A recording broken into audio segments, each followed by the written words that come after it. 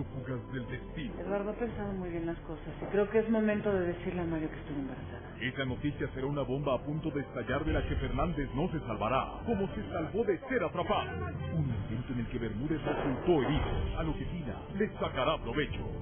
Necesito hablar contigo. ¿Quieres entregarme la invitación de tu boda? ¿Por qué tenías que dejarla? ¿Por qué lo hiciste? No, no. No me hagas perder mi tiempo y no pierdas el tuyo. Prófugas del destino, esta noche a las 8.30 por Azteca 13.